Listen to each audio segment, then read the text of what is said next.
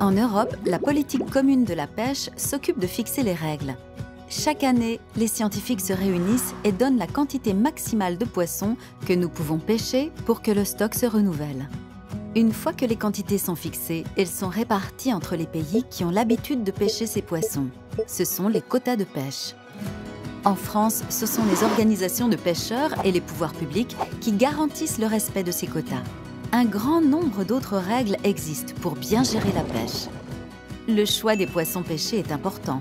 Cela s'appelle la sélectivité. Le pêcheur qui connaît bien la mer et les poissons a un comportement sélectif en évitant certaines zones et les périodes pour ne pas remonter de poissons trop petits ou qu'il n'a pas le droit de pêcher. Certaines zones peuvent être fermées à la pêche pendant une période ou toute l'année.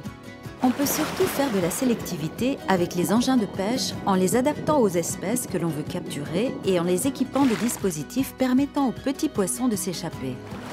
Scientifiques et pêcheurs expérimentent sans cesse de nouveaux engins qui permettent de mieux sélectionner les poissons pour une pêche plus durable et plus responsable.